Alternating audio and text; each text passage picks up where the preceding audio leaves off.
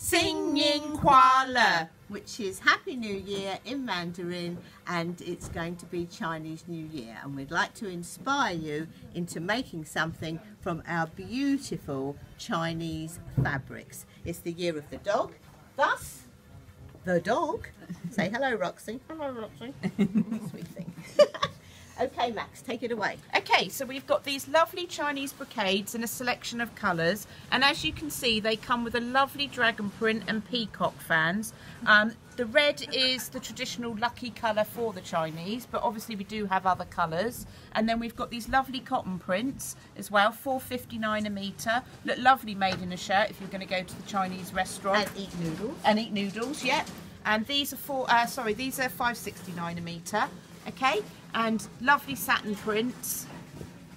So let's do our party piece again. Yeah. Xin nian kuai le